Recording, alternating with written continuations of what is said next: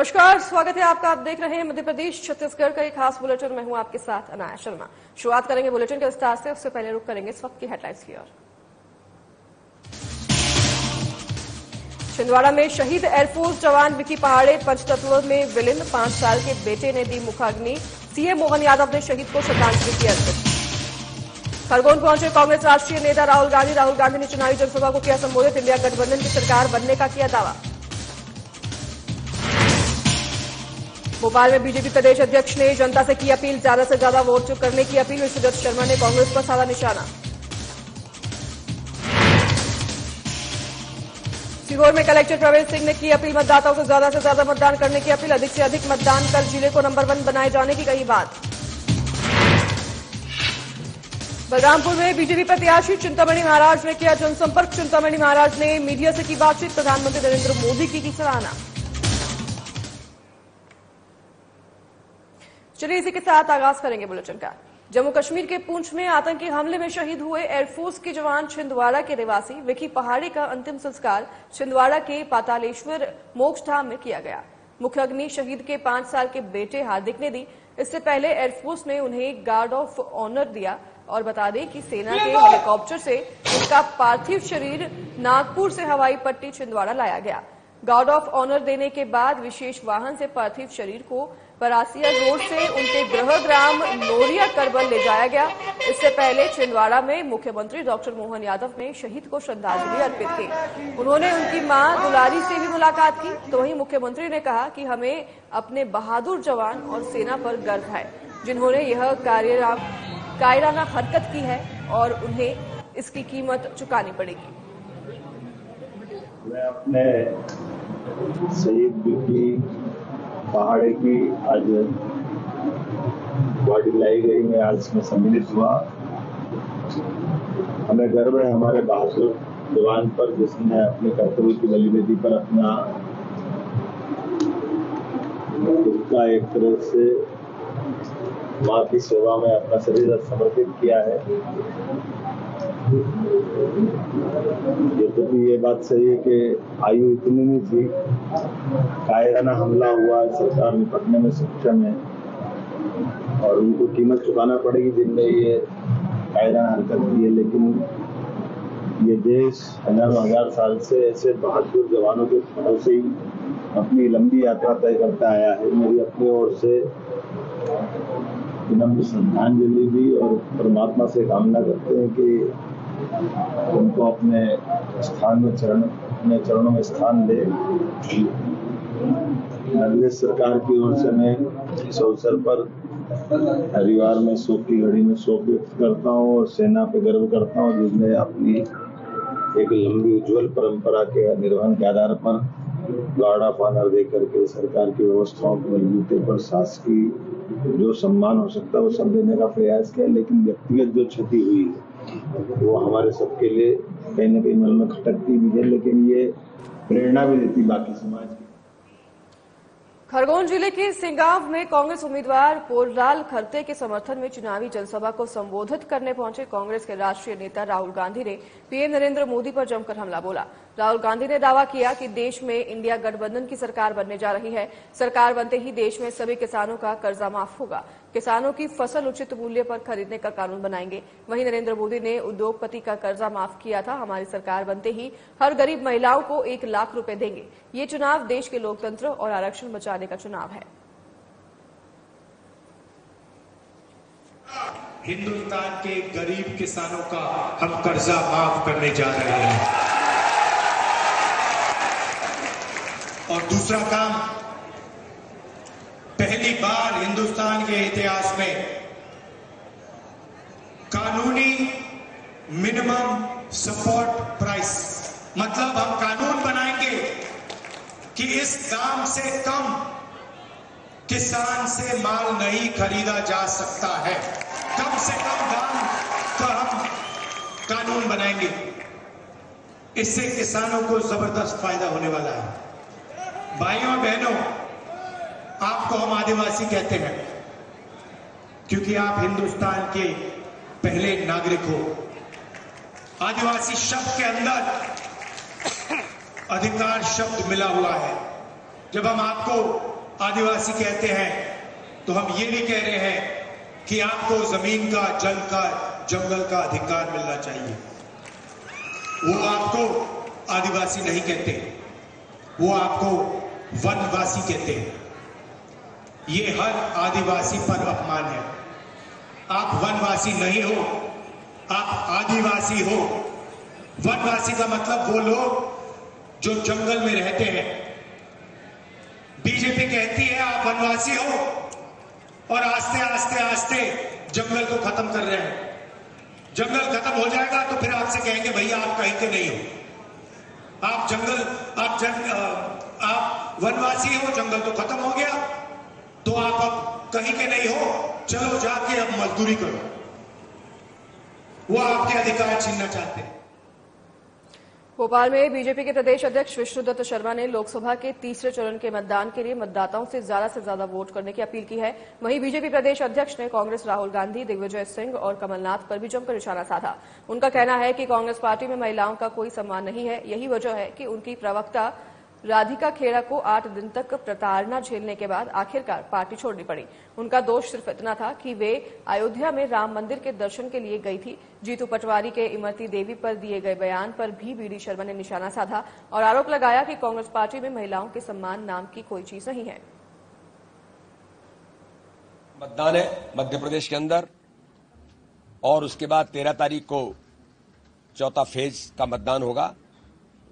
मैं पूरे मध्य प्रदेश के सभी मतदाता भाई और बहनों से अपील करता हूँ कि ज़्यादा से ज़्यादा मतदान करें, लोगों को प्रेरित करें, अपने रिश्तेदार, दोस्त, परिचित, पड़ोसी, ज़्यादा से ज़्यादा लोगों को मतदान के लिए प्रेरित करते हुए, क्योंकि आपका एक मत बहुत महत्वपूर्ण है और आपका एक मत विकसित भारत के संकल्प को पूरा करेगा, इसलिए मैं आप सबके माध्यम से आम मतदाता भाई और बहनों से अपील करना चाहता हूँ, ज़्यादा से ज़्यादा जाकर के मतदान करें।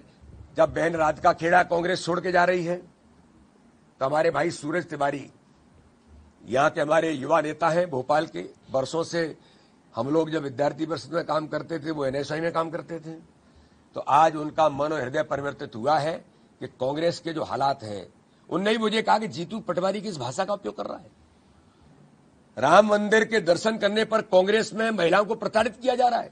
तो मेरा मन भी बदल गया है और मैं भी अब भगवान राम के श्रद्धा और आस्था के केंद्र भगवान के दर्शन भी करूँगा और अब भारतीय जनता पार्टी के साथ मिलकर के मोदी जी के नेतृत्व में जो संभव हो सकता है, वो समाज के लिए काम करने का हम सब मिलकर के प्रयास झाबुआ में कलेक्टर नेहा मीना और पुलिस कप्तान पदम विलोचन शुक्ल के मार्गदर्शन में मतदान बढ़ाने के उद्देश्य से सचेत पाती और स्टीकर का विमोचन किया गया।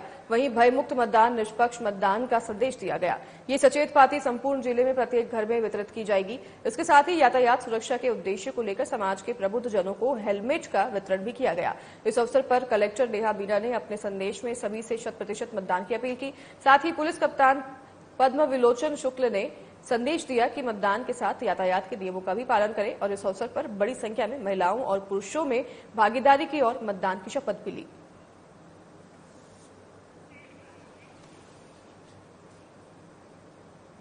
लोकसभा चुनाव के तीसरे चरण के लिए मंगलवार सुबह सात बजे से मतदान शुरू हो गया है, जिसको लेकर मतदाताओं में खासा उत्साह देखने को मिल रहा है। तो वहीं शांतिपूर्ण चुनाव संपन्न कराने को लेकर प्रशासन की तरफ़ से पूरी तैयारी की गई है। आपको बता दें कि मतदान के लिए दुर्ग लोकसभा सीट से बीजेपी प्रत्याशी विजय बघेल ने स्कूटी से अपनी पत्नी के साथ पहले सेक्टर पाँच स्थित गणेश मंदिर गए, जहाँ उन्होंने पूजा अर्चना की, जिसके बाद बीजेपी प्रत्याशी विजय बघेल मतदान केंद्र पहुंचकर मतदान किया।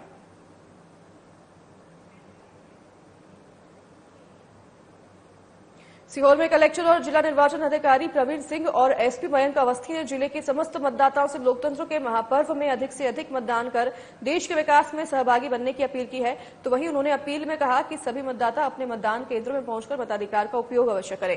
उन्होंने ज़िले के मतदाताओं से कहा कि लोकसभा निर्वाचन दो हज़ार चौबीस में अधिक से अधिक मतदान कर ज़िले को नंबर वन बनाएँ। जैसा कि हम सभी को ज्ञात है, सात मई को सीहोर ज़िले की तीन विधानसभाओं में सीहोर, इच्छावर एवं बुधनी में। लोकसभा का निर्वाचन होना है। कल प्रातः सात बजे से शाम छह बजे तक आवश्यक रूप से अपने घरों से बाहर निकले, मतदान में भाग लें, अपना मत अवश्य डालें। आप सभी का मत बहुत महत्वपूर्ण है।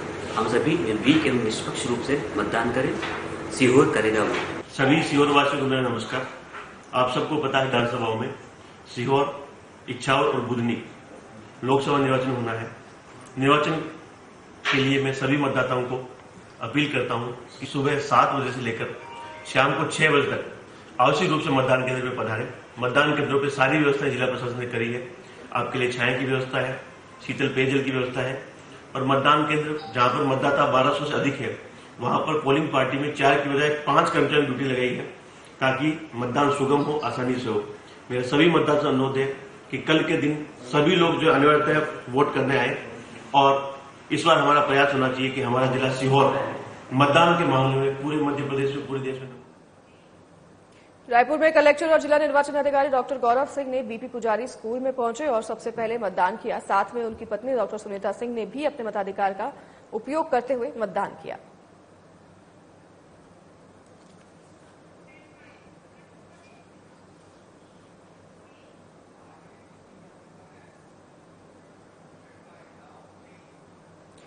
छत्तीसगढ़ भारतीय जनता पार्टी के पूर्व भारतीय जनता युवा मोर्चा प्रदेश अध्यक्ष और वर्तमान प्रदेश प्रवक्ता अमित साहू ने खास चर्चा की। उन्होंने युवाओं को वोट देने के लिए अपील की।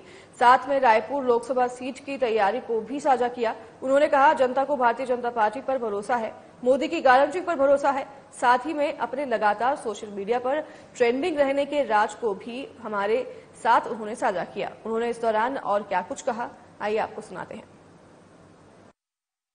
कि दो फेसेस खत्म हो चुके हैं। और देख सकते हैं, भारतीय जनता पार्टी लगातार अपनी तैयारियों में जो है, जुटी हुई नज़र आ रही है। ऐसे भी प्रदेश की जनता है, वो सात लोकसभा सीटों में जो है मतदान के लिए उमड़ कर आने वाली है। ऐसे में चुनावी चर्चा के लिए हमारे साथ एक ऐसी शख्सियत जुड़ी हुई है, जो कि छत्तीसगढ़ भारतीय जनता पार्टी की यूथ आइकॉन कहा जाते हैं। देखा जा सकता है कि लगातार पिछले कई वर्षों से वो पार्टी से जो है जुड़े हुए हैं। और युवाओं में खासतौर पर उनका क्रेज जो है वो देखा जा रहा है। जी हाँ हम बात करें अमित साहू जी की, सीधा उनसे संवाद करेंगे। अमित जी, देखा जा सकता है कि जब आप जनता के बीच जाते तो सबसे ज़्यादा जो युवा वर्ग है, वो आपसे काफ़ी ज़्यादा प्रभावित रहता है। देखा जा सकता है, आप भारतीय जनता युवा मोर्चा के प्रदेश अध्यक्ष भी रहे और अब प्रदेश प्रवक्ता भी हैं भारतीय जनता पार्टी के। तो किस तरीके से युवाओं का क्रेज रहता है जब आप उनसे मिलते हैं? वो किस तरीके से आपको देखते हैं? देखिए, युवाओं के बीच तो मैं आज के समय में युवा हूँ और युवाओं के बीच काम करना मेरी शैली है, युवाओं को पार्टी की विचारधारा से जोड़ना मेरी शैली है और कार्य पद्धति भी उसी राह पे है जो पार्टी को, यूथ विंग को पार्टी की विचारधारा से जोड़े। इसलिए सर्वाधिक कार्य मैं युवाओं के बीच करता हूँ और वही कार्य करता हूँ जो युवाओं को पसंद हो। चाहे वो ग्लैमरस की राजनीति हो, चाहे वो आंदोलन की राजनीति हो, चाहे युवाओं को उनकी ही विचारधारा का होकर उनको पार्टी की विचारधारा में उनके भीतर परिवर्तन लाने की राजनीति हो, ये सारी राजनीति मैं करता हूँ, इसलिए युवाओं को भी मैं बहुत पसंद आता हूँ। और छत्तीसगढ़ के सर्वाधिक युवा, ऐसा कोई युवा नहीं होगा जो मुझसे चित परिचित होगा, कहीं भी मैं छत्तीसगढ़ किसी भी कोने में जाऊँ तो हर एक युवा जानता है, पहचानता है, और भारतीय जनता पार्टी का एक युवा नेता के रूप में पहचान आज मेरी छत्तीसगढ़ प्रदेश में हूँ, है। और कहीं ना कहीं भारतीय जनता पार्टी में जुड़ने के लिए कोई भी युवा अगर लालायित होता है तो वो कहीं ना कहीं मेरे माध्यम से ही भारतीय जनता पार्टी में जुड़ूं और मेरे माध्यम से ही भारतीय जनता पार्टी का कार्य करूँ। ये युवाओं के भीतर एक ललक होती है और जहाँ भी मैं जाता हूँ तो युवाओं के भीतर एक अलग सा क्रेज लेकर जाता हूँ मैं।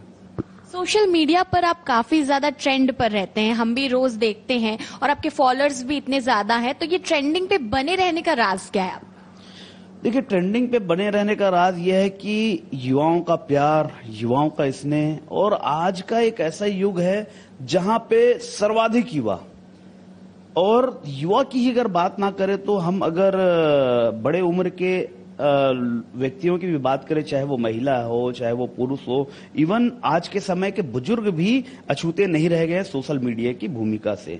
आज का बुज़ुर्ग भी, आज के महिलाएँ भी, आज के युवा भी और आज के पुरुष भी सर्वाधिक लोग सोशल मीडिया के माध्यम से जुड़े हैं।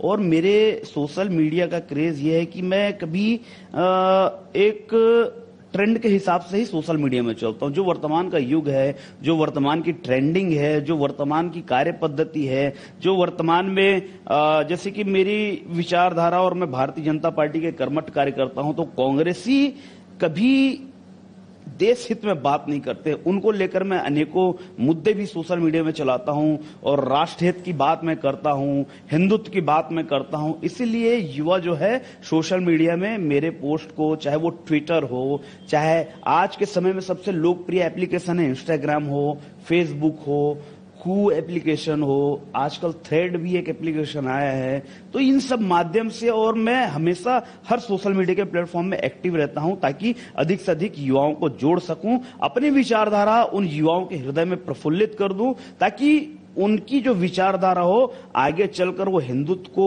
पहचाने, हिंदुत्व को जाने, हिंदुत्व का मान सम्मान करें और राष्ट्र हित में, देश हित में, राष्ट्रभक्ति से उत्प्रोत होकर देश हित में काम करे और भारतीय जनता पार्टी की विचारधारा से जुड़े। और अगर किसी युवाओं के मन में हिंदुत्व की विचारधारा आती है तो उनके नज़र में सिर्फ़ एक ही पार्टी नज़र आती है, वो भारतीय जनता पार्टी, क्योंकि यही वो पार्टी है जो मोदी जी की पार्टी है। यही वो पार्टी है जो माननीय अटल बिहारी वाजपेयी जी की पार्टी है। और यही वो पार्टी है परम श्रद्धे पंडित दीनदयाल उपाध्याय जी और श्यामा प्रसाद मुखर्जी जी जैसे अनेक महापुरुषों की पार्टी है और जिन्होंने आज तक भारत में हिंदुत्व पर किसी भी प्रकार की आँच आई है, उसका खुलकर विरोध किया है, उसको लिए खुलकर लड़ाई लड़े और हिंदुत्व की रक्षा की है। इसलिए आज के समय में अगर किसी युवाओं के हृदय में हिंदुत्व की भावना जागृत होती है तो निसंदेह भारतीय जनता पार्टी से जुड़ता है और उसका माध्यम मैं बनता हूँ।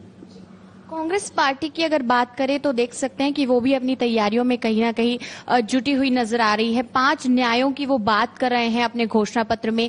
युवाओं को न्याय, नारी को, श्रमिकों को, गरीबों को। तो इन न्यायों को किस तरीके से देख रहे हैं? क्या लग रहा है कि उनके घोषणा पत्र पर जनता को कितना भरोसा देखिए, मुझे तो हँसी आती उन तमाम कांग्रेसियों पर। और ये किस हैसियत से न्याय की बात करते हैं? ये छत्तीसगढ़ की जनता पर अन्याय करने वाले कांग्रेसी, ये भारत देश की जनता पर अन्याय करने वाले कांग्रेसी, ये वही कांग्रेसी हैं जो कहते थे कि हर सरकारी योजना पर अल्पसंख्यकों का पहला अधिकार है। हर बहुसंख्यकों के हृदय को चोटिल करने वाले ये कांग्रेसी किस हैसियत से न्याय की बात करते हैं? अगर हम बात छत्तीसगढ़ की करते हैं तो छत्तीसगढ़ की जनता ने 2018 के चुनाव में एक भरोसा जताया था। एक विश्वास जताया था और छत्तीसगढ़ के इतिहास में तीन चौथाई से भी अधिक का बहुमत अगर किसी पार्टी को दिया था, वो कांग्रेस पार्टी को दिया था। इकहत्तर विधायक थे उनके 2018 के विधानसभा चुनाव में। मगर वो इकहत्तर विधायक उनमें से मंत्री और उनके एक सरदार थे, जो ठगों के सरदार थे, जिनको ये कांग्रेसी नारे देकर कहते थे कि भूपेश है तो भरोसा है। उस भरोसे पर छत्तीसगढ़ की जनता ने उनको आंका है तो छत्तीसगढ़ की जनता ने पाया है कि भूपेश है तो भरोसा नहीं है। भूपेश है तो सिर्फ़ इस चीज़ का भरोसा है कि वो ठगों का सरदार है, वो माफियों का सरदार है, वो अवैध खनन करने वाले रेत चोरों का, कोयला चोरों का सरदार है। वो अवैध उगाही करने वालों का सर, सरदार है। तो इसीलिए कांग्रेसी नारा देते थे कि भूपेश है तो भरोसा है कि हम छत्तीसगढ़ की जनता के जेब में डकैती डाल रहे हैं। इसलिए हम संरक्षित हैं क्योंकि भूपेश है तो भरोसा है। हम कोयले की खुलेआम चोरी कर रहे हैं, कोयले में लेवी वसूल रहे हैं। क्यों? क्योंकि भूपेश है तो भरोसा है। हम महिलाओं पर अत्याचार करने के लिए यहाँ के गुंडों को खुलेआम हमने छोड़ दिया था, क्योंकि भूपेश है तो भरोसा है। युवाओं को इतना जोरदार तरीके से इन्होंने ठगा है, मूर्ख बनाया है, छला है कि इन्होंने अपने जन घोषणा पत्र में 2018 के वादा किया था, जन घोषणा पत्र में कि 10 लाख नौजवानों को बेरोजगारी भत्ता देंगे। अधिक से अधिक नौजवानों को रोज़गार देंगे, मगर साढ़े चार साल तक के भूपेश बघेल की सरकार ने उन युवाओं को घुमाया था। ना एक भी युवाओं को बेरोजगारी भत्ता मासिक पच्चीस सौ रुपए इन्होंने कहा था, वो नहीं दिया। दिया भी तो साढ़े चार वर्षों के बाद हमारे भारतीय जनता युवा मोर्चा के बड़े आंदोलन के बाद उस सरकार को मजबूर हमने किया था कि युवाओं के प्रति ध्यान दे, युवाओं से जो वादा किया था उसे पूरा करे, मगर उन्होंने किया तो साढ़े चार वर्षों बाद किया। और दस लाख नौजवानों की बात की थी इन्होंने। इन्होंने सिर्फ़ दिया सत्तर हज़ार नौजवानों को। उसमें भी चयनित करके जो युवा कांग्रेस के जो कार्यकर्ता थे, उनको ही बेरोजगारी भत्ता दिया। सरकारी खजाने में भी अगर लूट, डकैत, सामूहिक डकैती इन्होंने की, इसलिए क्योंकि भूपेश है तो भरोसा था। और उसी भरोसे पर छलावा छत्तीसगढ़ की जनता ने पाया। इसलिए 2023 में भारतीय जनता पार्टी को चुना। और अब तो कांग्रेस के किसी भी व्यक्ति पर भारतीय जनता पार्टी के कार्यकर्ताओं ने हमला इस प्रकार से बोला है और भारतीय जनता पार्टी के कार्यकर्ताओं ने छत्तीसगढ़ की जनता का विश्वास हासिल किया है, इसीलिए सरकार आज बनी है और यह विश्वास कायम रहेगा क्योंकि छत्तीसगढ़ की जनता को भरोसा है कि भारतीय जनता पार्टी है तो विकास है। भारतीय जनता पार्टी है तो छत्तीसगढ़ जो है दोगुनी रफ्तार से दौड़ेगा, क्योंकि जब 2000 में छत्तीसगढ़ राज्य का निर्माण हुआ, तब 2000 से 2003 तक कांग्रेस की सरकार थी। उस समय भी यही स्थिति, परिस्थिति और हालात छत्तीसगढ़ की जनता ने देखा था, मगर 15 वर्ष के कार्यकाल को छत्तीसगढ़ की जनता ने भी देखा है। आज चाहे कोरिया से लेकर कोंटा तक के, सुकमा से लेकर अंबिकापुर तक के अगर सड़कों का विकास इंफ्रास्ट्रक्चर का विकास हॉस्पिटल का विकास स्कूल की बिल्डिंगों का विकास अगर सही मायने में किसी ने देखा है तो भारतीय जनता पार्टी के कार्यकाल में देखा है। वो तो एक बार बदलने का अवसर छत्तीसगढ़ की जनता ने सोचा कि एक बार बदल के देखी कि कांग्रेस क्या करती है, मगर इन पाँच वर्षों में कांग्रेस की सरकार को भी इन्होंने देखा है कि ये भ्रष्टाचार के अलावा कुछ कर नहीं सकते, इसलिए भारतीय जनता पार्टी है तो भरोसा है। और निसंदेह, इसी भरोसे के दम पर छत्तीसगढ़ की जनता की आवाज़ के दम पर मैं कहना चाहता हूँ कि इस लोकसभा के चुनाव में 11 की 11 लोकसभा सीटें जीतकर मोदी जी के सपनों को साकार करेंगे। और हम भारतीय जनता पार्टी जो कार्यकर्ता अब की बार 400 पार का जो नारा लगा रहे हैं, बिल्कुल उस नारे को पूरा करने के संकल्प के साथ आगे बढ़ रहे हैं। और कल जो चुनाव है, उसमें भी छत्तीसगढ़ की जनता, निसंदेह भारतीय जनता पार्टी के हर एक प्रत्याशी को चुनेगी क्योंकि उनका विश्वास कमल के फूल पर है, उनका विश्वास मोदी जी के कार्यों पर है, उनका विश्वास भारतीय जनता पार्टी की हर एक नीति पर है, जो भारतीय जनता पार्टी कहती है और वो करती है। और क्योंकि आज के समय में छत्तीसगढ़ की जनता समेत पूरे भारत की जनता को भरोसा है मोदी जी की गारंटी पर। और उस गारंटी पे इसलिए भरोसा है कि गारंटी पूरी होने की गारंटी मोदी जी के नाम पर ही है। इसलिए 11 की 11 लोकसभा सीट हम छत्तीसगढ़ की जीतेंगे और 400 पार का आंकड़ा 400 पार का जो नारा हम लगा रहे हैं उसे निसंदेह पूरा करेंगे और ईश्वर प्रभु श्री रामचंद्र जी का आशीर्वाद भी है और कमल फूल पर विश्वास भी छत्तीसगढ़ समेत भारत की जनता का है। युवाओं को किस तरीके से प्रेरित करना चाहेंगे? क्योंकि जो 18 वर्ष से ऊपर के अब हो चुके हैं वो अपना पहला मतदान जो है वो साथ ही में महिलाओं को क्योंकि देखा जाता है कि कई ऐसे लोग भी होते हैं जो मतदान करने नहीं जा पाते हैं या फिर कामों में व्यस्त हो जाते हैं। तो उन्हें किस तरीके से अपील करेंगे? देखिए मैं संपूर्ण छत्तीसगढ़ के कोने कोने में बसे हुए उन युवाओं से अनुरोध करता हूँ, उन महिलाओं से अपील करता हूँ, उन तमाम पुरुषों से, बुज़ुर्गों से निवेदन करता हूँ मैं कि लोकतंत्र का महापर्व पाँच साल में सिर्फ़ एक बार आता है। और आप ही वो अधिकृत व्यक्ति हैं जो लोकतंत्र के महापर्व में हिस्सा ले सकते हैं। आप चुन सकते हैं कि आपके मनपसंद पार्टी की सरकार इसमें बने। आप चुन सकते हैं कि आपका मनपसंद कैंडिडेट इस चुनाव में जीत कर आ सके। इसलिए सबसे महत्वपूर्ण और महती भूमिका आप युवाओं की है, आप महिलाओं की है, आप पुरुषों की है और आप तमाम बुज़ुर्ग गणों की है, क्योंकि आप ही भारत के भाग्य विधाता हैं, छत्तीसगढ़ के भाग्य विधाता हैं। तो मेरी अपील आप सभी युवाओं से है, महिलाओं से है, पुरुषों से, बुज़ुर्गों से हाथ जोड़कर करबद्ध निवेदन भी करता हूँ कि आज मोदी जी के सपने को साकार करें। आज आप देख रहे हैं, चाहे युवा हो, चाहे महिला हो, आप देख रहे हैं सोशल मीडिया के माध्यम से भारत की आंतरिक सुरक्षा किस प्रकार से बढ़ी है। भारत को जो आँख दिखाता था चाइना, जो आँख दिखाता था पाकिस्तान, आज वो किस कदर दुम दबाए बैठा है? आज पूरा विश्व माँ भारती का गुणगान कर रहा है। सिर्फ़ इसलिए आपके एक वोट के वजह से। आपके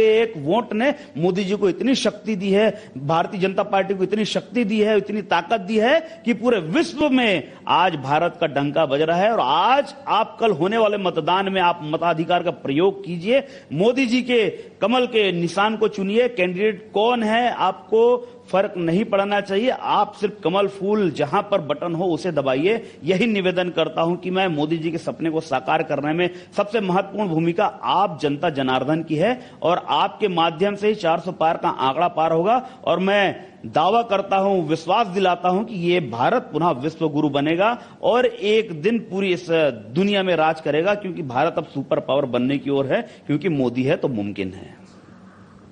तो हमारे साथ भारतीय जनता पार्टी के यूथ आइकॉन कहे जाने वाले शख्स अमित साहू जी, जिन्होंने बताया कि किस तरीके से जो है, देख सकते हैं, भारतीय जनता पार्टी की रीति नीति से जनता काफ़ी ज़्यादा जो है, प्रभावित होती नज़र आ रही है। और उनका यह भी कहना है कि 11 की 11 सीटें जो है इस लोकसभा चुनाव में, भारतीय जनता पार्टी छत्तीसगढ़ से लेकर जा रही है और 400 पार का नारा जो लगातार दिया जा रहा है, वो भी यहाँ पर संभव होता नज़र आने वाला है। देखने वाली बात यह है कि चार जून को जब निष्कर्ष निकल कर आते हैं तो पूरे देश की जनता किसे अपना नेता चुनती है? कैमरामैन नरेश राव के साथ करिश्मा सोनी साधना प्लस न्यूज़। तो मध्य प्रदेश छत्तीसगढ़ का खास बुलेटिन देख रहे थे आप और उस बुलेटिन में हमारे साथ बस इतना ही। नमस्कार।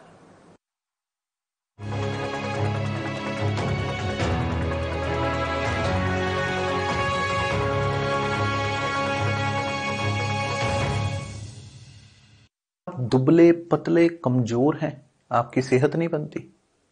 भूख कम लगती है, वज़न नहीं बढ़ता। दरअसल, मेन बात खाना पीना खाना नहीं है। मेन बात है खाया पिया लगना। और अगर खाया पिया लगेगा ही नहीं तो आपकी सेहत बनेगी कैसे? इसलिए